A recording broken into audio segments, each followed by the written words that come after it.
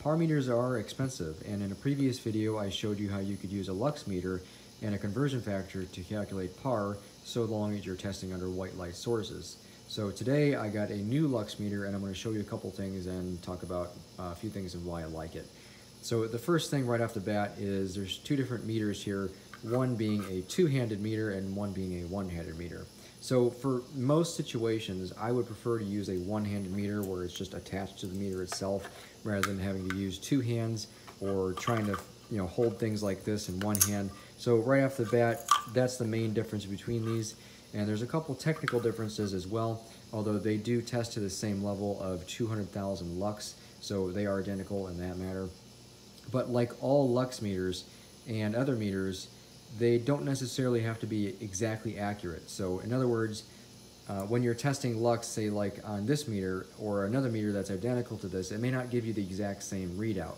And that's going to vary between the brands also, and probably more so between two different brands than two different meters in the same brand. So I'm going to take a look at a couple things. We're going to show you the uh, numbers on the meters to compare them, and then if you are interested in this meter, I'm going to give you the conversion factor that you need to calculate par.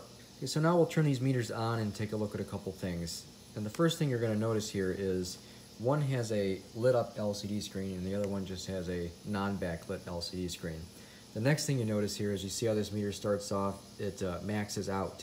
And that's because you have to set the lux value, or I should say the decimal point, every time that you use this meter to where this one here automatically changes the decimal point. You don't have to go in there and select anything. That's one reason why I like this meter over this one. So another difference between these meters is just an added feature on the Urceri, and that is a temperature gauge, and it's in Celsius. I do not really know offhand if that actually can change to Fahrenheit for all you people out there who would rather see that. But it does have a temperature gauge in there. I don't know where it actually sits in there, so I'm not sure if holding this in your hand is going to affect that. Maybe if it's up here in this top part, that doesn't affect it. I don't really think we need to test that here because I'm not using it as a thermometer. Um, also, if you look here, you see the numbers are very different on the screen. So this one here is showing about 4,714 lux, and over here that's times 10, so that's showing 5,070 lux. So there is a difference between these two meters here, and that's why I'm going to give you the conversion factor for this new one here.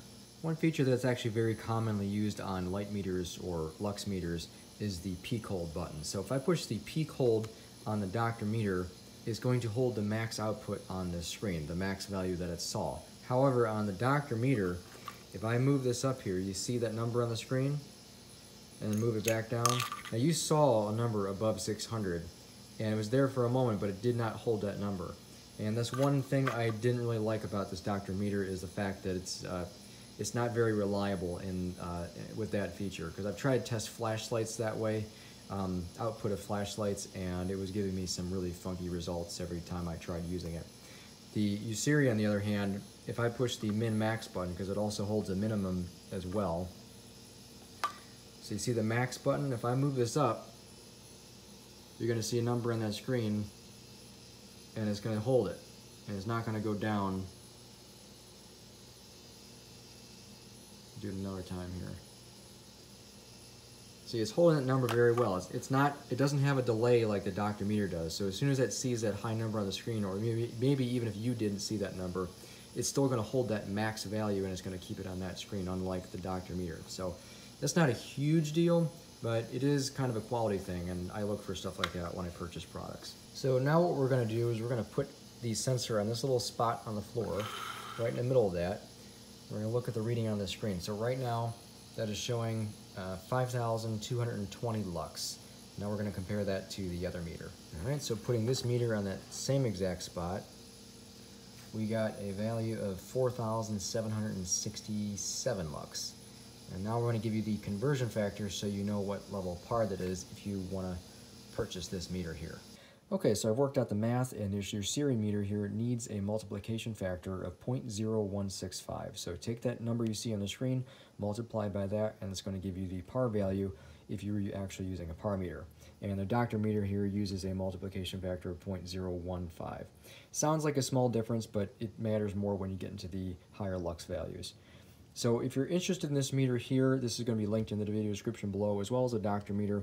They're very inexpensive meters. This one here is pretty cheap Um, they are affiliate links, so I do get a tiny commission, but it's not going to cost you anything. So thanks for watching this nice short video. Hope that helps.